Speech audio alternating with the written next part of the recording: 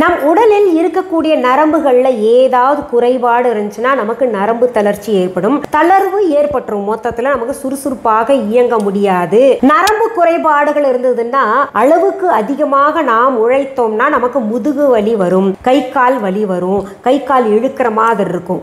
இது போன்ற நரம்பு குறைபாடுகளை இந்த இழுப்பெண்ணெய் மூலமாக சரி பண்ணலாம். எப்படின்னா வலி இருக்கின்ற இடத்துல நல்லா காய்ச்சி கொஞ்சம் மாறிய எண்ணெயை வெது வெதுப்பாக இருக்கும்போது எடுத்து பூசிட்டு அதற்கு மேல உப்பு ஒத்தடம். உப்பு ஒத்தடம் எப்படி கொடுக்கணும்னு நான் சொல்லியிருக்கேன். கல்லுப்பை எடுத்து நெருப்புல வாட்டிக்கிட்டு ஒரு துணியில சுத்தமான துணியில மூட்டையாக கட்டி அந்த உப்பு ஒத்தடம் கொடுத்தோம்னா இ- வலி இருக்கிற இடமே தெரியாம போயிடும் நரம்பில் இருக்கக்கூடிய குறைபாடுகள் எல்லாம் போயிடும் வலி ஏற்படும் போதெல்லாம் நீங்க செஞ்சுக்கிட்டு வந்தீங்கன்னா காலப்போக்கில் நரம்பில் இருக்கக்கூடிய குறைபாடுகள் இந்த எண்ணெய் பூசுவதின் காரணமாக உள்ள போய்கிட்டு நமக்கு நரம்பில் உள்ள பிரச்சனைகளை சரி பண்ணும்.